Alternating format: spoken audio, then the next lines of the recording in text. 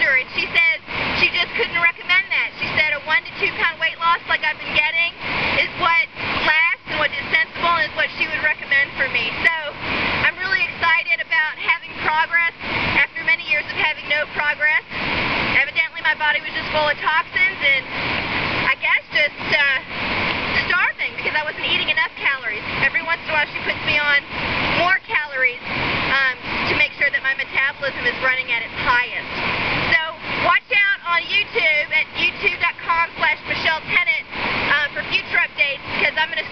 some some sick, sick kayak moves in preparation for our vacation in Colorado later this year.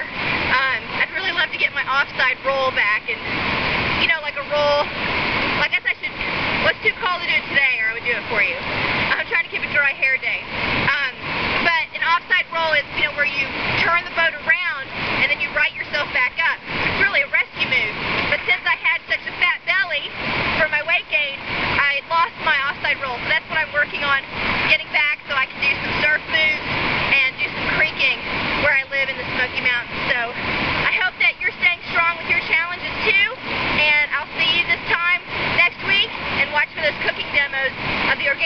that we're getting each week.